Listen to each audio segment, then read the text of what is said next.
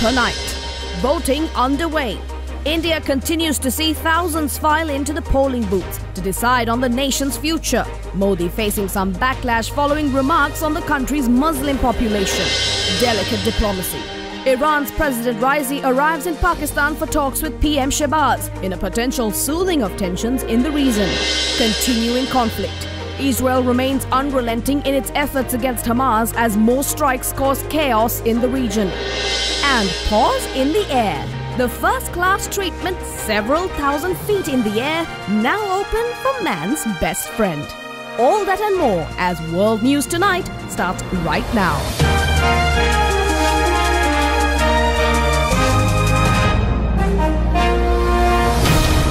This is Ada Derana World News Tonight. Reporting from Colombo, here's Anuradhi Vikramasinghe.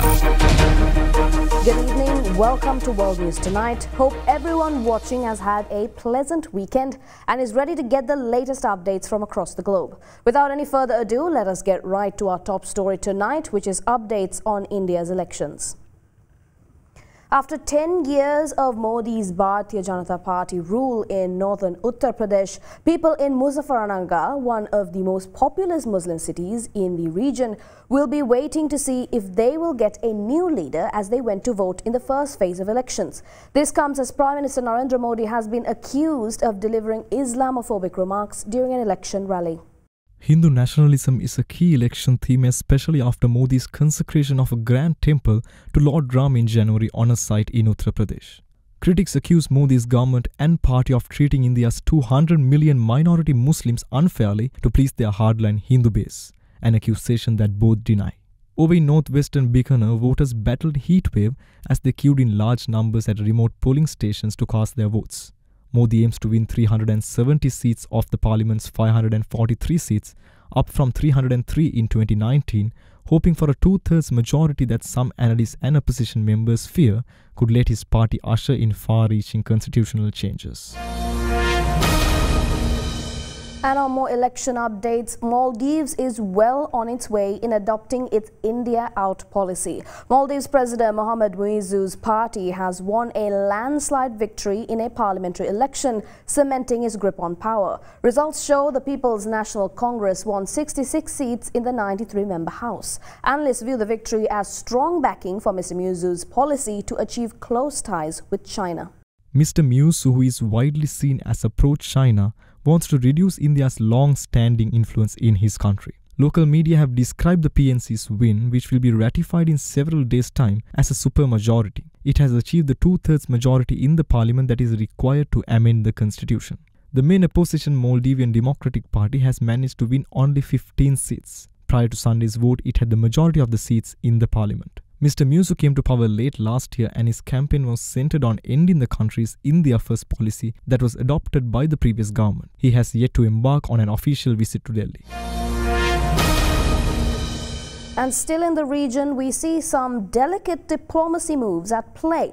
Iran's President Ebrahim Raisi arrived in Islamabad for a three-day official visit as the two Muslim neighbors seek to mend ties after unprecedented tit-for-tat military strikes this year. He was received by Federal Minister for Housing and Works Mian Riaz Hussain Pirzada. Raisi will meet Prime Minister Shehbaz Sharif and the other officials besides visiting the eastern city of Lahore and the southern port city of Karachi. Major highways in Islamabad were blocked as a part of the security measures for Raisi's arrival, while the government declared a public holiday in Karachi. Raisi's visit is a key step towards normalizing ties with Islamabad, but Iran's supreme leader, not the president, has the last say on the state matters such as the nuclear policy. Tension is also high in the Middle East after Iran launched an unprecedented attack on Israel a week ago and central Iran in turn suffered what sources say was an Israel attack on Friday. Now, the United States has imposed sanctions against four entities, including three Chinese companies and one Belarus-based firm, for their involvement in supplying missile-related items to Pakistan's ballistic missile program. According to the statement, these entities have provided missile-applicable items to Pakistan's ballistic missile program, including its long-range missile program. And for more on this, we have Ada Derana World News special correspondent Shanuka Dharmaratna from Vitebsk in Belarus. Shanuka, what's the latest? Yes, Anuradhi. China an all-weather ally of Pakistan has been the main supplier of arms and defense equipment to Islamabad's ambitious military modernization program. The Minsk wheel tractor plant from Belarus has also been implicated. State Department spokesperson Matthew Miller said, these entities have engaged in activities or transactions that have materially contributed to or pose a risk of materially contributing to Pakistan military development. The Minsk wheel tractor plant in Belarus supplied special vehicle chassis to Pakistan's long-range ballistic missile program. China's Xi'an Longde Technology Development Company Limited supplied missile-related equipment including a filament winding machine to Pakistan's long-range ballistic missile program that the US said was destined for Pakistan's NDC. Back to you, Anuradhi. All right, thank you very much. That was Ada Derana World News special correspondent Shanuka Dharmaratna from Vitebsk in Belarus. We're going in for a short commercial break now. We'll be right back with more key global updates. Stay tuned.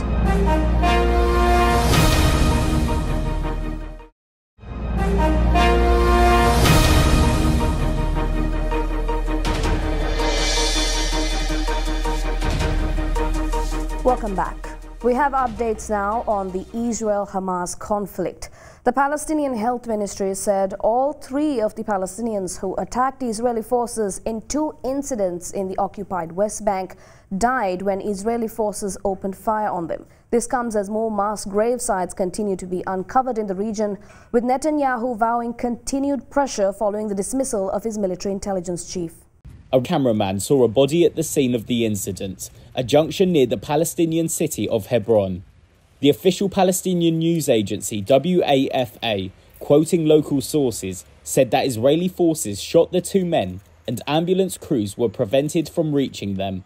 Palestinian security forces told WAFA that the two men, aged 18 and 19, died and that they were still unable to collect their bodies. Violence in the West Bank, already on the rise before the Israel Hamas war in Gaza, has escalated with frequent army raids on militant groups, rampages by Jewish settlers in Palestinian villages, and Palestinian street attacks. On Sunday, mourners fire in the air at a funeral for Palestinians killed by Israeli forces in a raid the day before.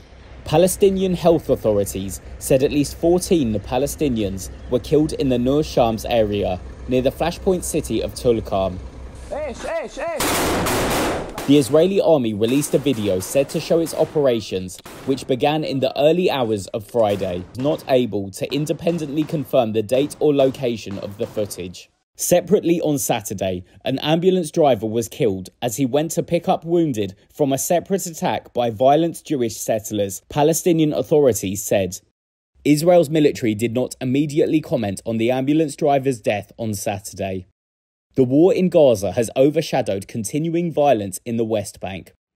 Thousands of Palestinians have been arrested and hundreds killed during regular operations in the West Bank by Israeli army and police since the start of the Gaza war on October 7th. Those killed were mostly members of armed groups, but also stone throwing youths and uninvolved civilians. And still on the conflict, global deal talks continue to find a way out of the crisis. British Prime Minister Rishi Sunak made a phone call to Jordan's King Abdullah to discuss developments in the Gaza Strip. During the call, Sunak renewed the UK's support for Jordan's security and that of the region, saying a significant escalation is not in anyone's interest. And for more on this, we have other World News special correspondent Pavani Mudalige from Essex in the UK. Pavani. Yes, Anuradhi, he added that the UK's focus remains on finding a solution to the conflict in Gaza. Sunak said the UK continues to work toward an immediate humanitarian truce to bring in much larger amounts of aid and return the Israeli hostages held by Hamas safely to their families, leading to a longer-term sustainable ceasefire. Downing Street said the two leaders discussed joint efforts to significantly step up aid to Gaza, with the UK taking part in Jordanian-led airdrops and an humanitarian land corridor to Gaza, as well as the maritime aid corridor from Cyprus. Sunak told the king that the UK's ultimate goal is to achieve a workable two-state solution for Israelis and Palestinians. Back to you, Anuradhi. All right, thank you very much. That was Ada Derana World News special correspondent Pavani Mudalige from Essex in the UK. Some weather woes plague China tonight. Rescuers on boats in China's flood-hit Guangdong province raced to evacuate trapped residents, carrying some elderly people by piggyback from their homes and deploying helicopters to save villagers caught in landslides. Ling Zuizhen lives in Qingyuan City. Since two years ago, the rainfall started to get relatively heavy, and this year. In the past, the floods rarely rose to this point. At least the floods got drained. Situated in the densely populated Pearl River Delta, the province once coined the factory floor of the world, Guangdong is prone to summer floods and has previously put in place strong defences to limit the effects. But since Thursday, the region has been battered by record breaking rainfall, bringing the wet season earlier than expected.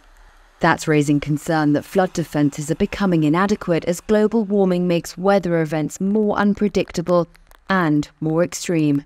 No fatalities have yet been reported, but a number of people are missing. On Sunday, domestic flights arriving in Guangzhou were briefly cancelled and international ones delayed. Some foreign carriers flying to other Chinese destinations took big detours to avoid the area. Just in Guangxi, a region west of Guangdong, nearly 100,000 people have been affected by the rain, with direct economic losses totaling nearly 285 million yuan, or almost $40 million.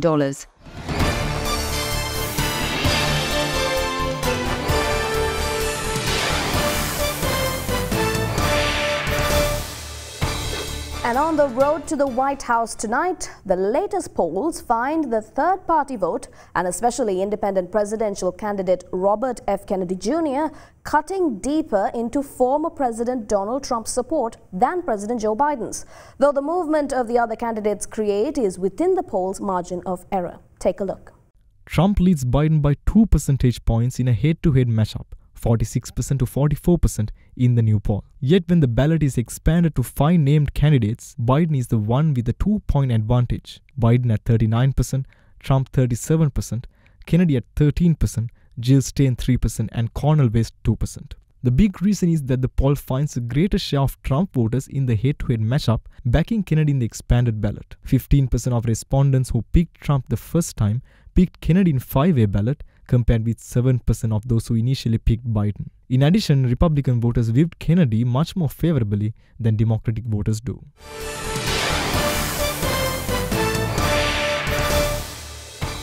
Going in for a short commercial break now. More world news right after this.